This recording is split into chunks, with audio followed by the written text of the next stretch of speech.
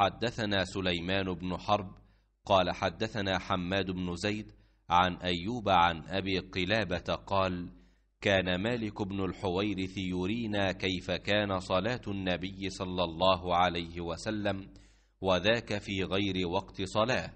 فقام فأمكن القيام ثم ركع فأمكن الركوع ثم رفع رأسه فأنصب هنية قال فصلى بنا صلاة شيخنا هذا أبي بريد وكان أبو بريد إذا رفع رأسه من السجدة الآخرة استوى قاعدا ثم نهض.